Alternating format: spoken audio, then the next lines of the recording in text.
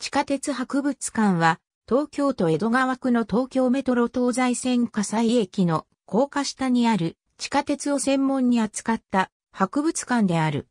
東京地下鉄株式会社の関連公益法人である公益財団法人メトロ文化財団が運営している。愛称は地下博。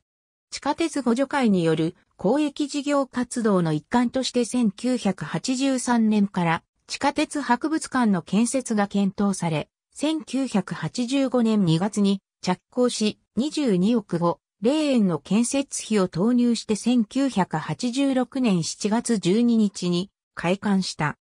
開館前に短期間であるが、千代田区神田須田町の交通博物館付近に資料展示施設を設置していたことがある。阪神、淡路大震災後に日本各地の高架橋で行われた耐震補強工事が東西線地上区間においても施行されるのに伴い、2002年7月1日から翌2003年5月31日まで約1年間閉鎖され、この時に展示品を一新する工事を行い、同年6月1日にリニューアルオープンした。英断300系、電車301号車、英断300系、電車301号車の車内東京高速鉄道100系電車東京地下鉄道線系電車管内の一部で銀座線開通時の上野駅ホームを再現している。地下鉄で実際に使用された車両の展示、さらに地下トンネル点検車等も追加されたのほか、地下鉄運転シミュレーター、鉄道模型レイアウトや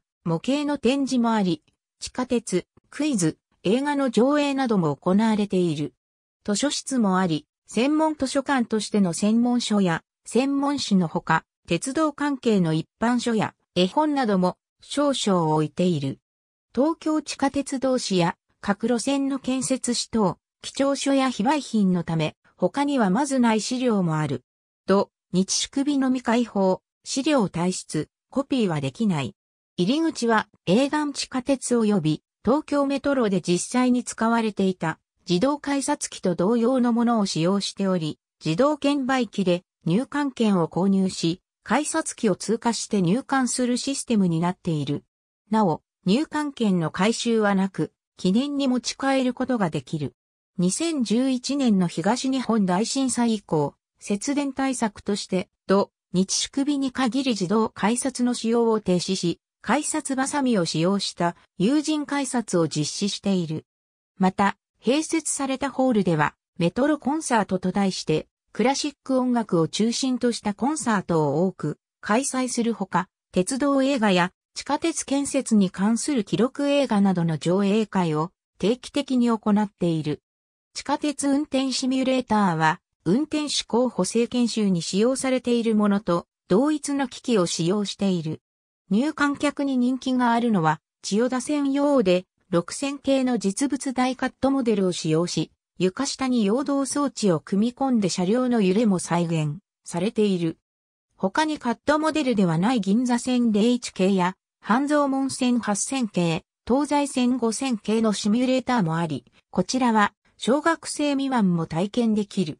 2019年10月1日からは、東西線と有楽町線のシミュレーターに組み込む形で、日比谷線と半蔵門線が追加で収録された。いずれも制作は三菱プレシジョンが担当している。博物館内には地下鉄の父、早川徳次の胸像も展示されている。開館時間10時17時定休日、月曜日、年末年始入館料大人220円、小に100円。また障害者手帳を提示すると入場料が半額になる。ありがとうございます。